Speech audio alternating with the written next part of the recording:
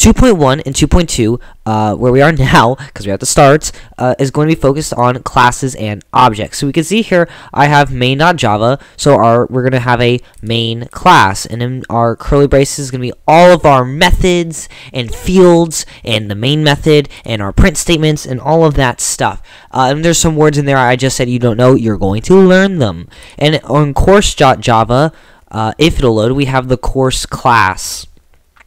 So what we're going to be doing is we're going to be making objects, course objects, and our course objects are just going to be different courses, and each course is going to have a teacher, a name, and the number of credits you're given, and that's going to be one object is going to have all of those different values to it, which is really really cool. Because a class is a formal implementation or a, a blueprint of the attributes and behaviors of an object. So take a mouse, for example, a computer mouse. If we were to have different fields for our computer mouse, different attributes of it, we could say the brand name. So whoever made your mouse, that could be a string. If it has a scroll wheel, that could be a boolean. The double could be its battery life. And those are all different fields that make up the mouse object. So we're going to be making course objects. Now first we have to make our fields and our constructors for our course um, class. So very, very cool. So let's make our fields. So our fields are basically variables, and these are going to be the different variables that make up an object. It's going to be the object's attributes. So we're going to set these to private. I'll explain why we're doing this in Unit 5, because uh, that's kind of a build off of this unit.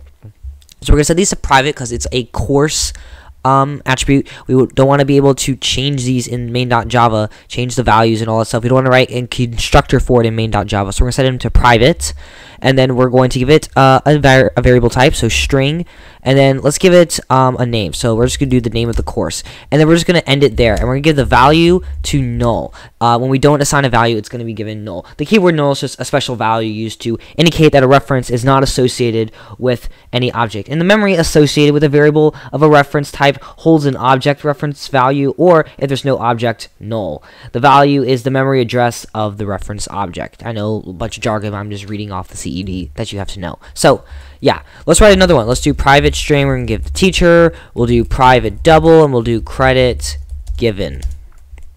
Very, very cool. So now we have our fields, and it's underlined because we have not used these fields. And Java is really, really cool because it underlines variables that you don't use uh, at all in your code, and that way you can just you know get rid of them because they're not being used. Very, very good for organization. So now what we're going to do is that we are going to write our constructors, and constructors uh, initialize the values of our fields. So to write a constructor is kind of like writing a method. So in our main.java, our main class, we have a main method. So we see we have public static void main, and then we have a pair of parentheses, and then our curly braces. And a constructor is very, very similar. We're going to write public, uh, but in, and we're also going to give it a name, uh, but the name is going to be the file name. So write a constructor, name is just going to be the file name. So course, then our pair of parentheses, and our curly braces. And our curly braces, everything in between there is going to be what is a part of our constructor. And like I said earlier, constructors are going to initialize the value of our fields.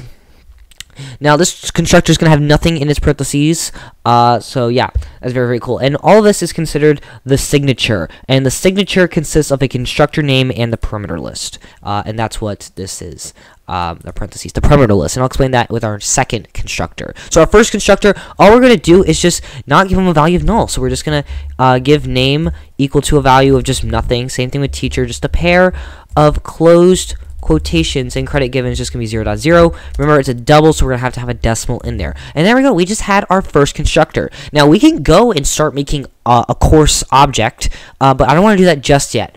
Um, we're going to write another constructor. Now, constructors are considered overloaded when there are multiple constructors with the same name, but these constructors all have to have a different uh, signature. So let's write an overload constructor. So same name, public, course. Now it has to have a different signature, a different parameter uh, list. So what we're going to be doing is we're just going to put in some parameters. And parameters are when we call our constructor, when we build our object, these parameters is what we're going to give to give a value to our object. So we're going to give the name of our course. We're going to give who the teacher is. We're going to say how much credit is given. So we're going to do all of that with our parameters. So we're going to do string n, string t, and we'll just do double cg. So when we uh, call this constructor, we're going to give string n, which is going to be the name, and assign that to name. And then to do t for teacher, and give that to the value of teacher. So teacher is equal to t, and credit given, same thing. So credit given is going to be equal to cg, and then we just wrote our overload constructor. Very, very cool. So now what we're going to do, did I spell credit given? No, I didn't. Okay, so now what we're going to do is that we are going to write objects now.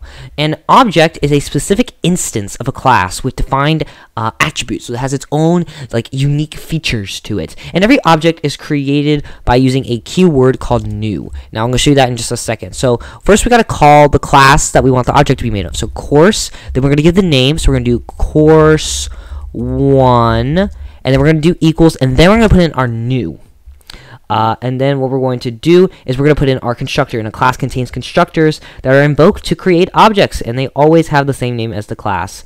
Uh, existing classes and class libraries can also be utilized as appropriate to create objects. So now let's write new course because we're writing a new course. This makes it kind of easy. And then we go. We just called our first constructor. How do we know it's our first constructor? Well, if we go to course.java, uh, as we can see here, our first constructor has no parameters. And here, we did not give any arguments, any values, or any attributes to our first constructor. So that's how we know which constructor we're calling. In Unit 5, we're going to be doing this a ton. But in Unit 2, we're going to do something different. We're going to call our overload constructor with the parameters. And these values that we're given in our parameters are called arguments. So we have uh, a name for our course, so we'll do AP Computer Science A. That'll be our name. Then we have the teacher, so the Eason, I guess you can do whatever you want. And then the credit given if you take the course 1.0, because it's a year-long course. And then boom, we called our overload constructor with the three parameters in that order. You have to do it in that order. And yeah, so we gave the name, the teacher, and the credit given. So what Java is going to do is it's going to give the name AP Science A and assign it to the name field. The teacher, the Eason, to the teacher field. The credit given 1.0 to the uh, credit given field and all that. Now, we're not going to, in this unit, print out the name or the teacher. That's all Unit 5 stuff. Here, I'm just teaching you what um, these objects and classes are. Now, let's make some more. We do course, if I can type today, course 2 is equal to new course. Let's do AP Computer Science Principles. Uh, I'll do the Eason again. This is usually a long course, so give 1.0 credit. Let's do one more course 3 is equal to new course. Let's do uh, AP. I'll do comparative government because I also have that on this channel. I teach that on here, but that's usually a, uh, a semester-long class. So instead of 1.0 credit, we're going to do 0.5 credit, and it's a double, so we are allowed to do that. So maybe doing um, your own coding or FRQs and MCQs, and you have to make uh, a constructor or fields, um, and you're given what you need to make a field. So let's say you need to make a field for money. I recommend using a double because, you know, we have maybe $3.54. So use doubles so you can get access to those decimals. And even if you do a double in an FRQ by accident, uh, or you're just rushing and you see something, you think, oh, that'd be good as a double, and really you need to return an integer, uh, you can always use our casting, which we learned in our last video on our Unit 1 stuff. So casting a double to an integer.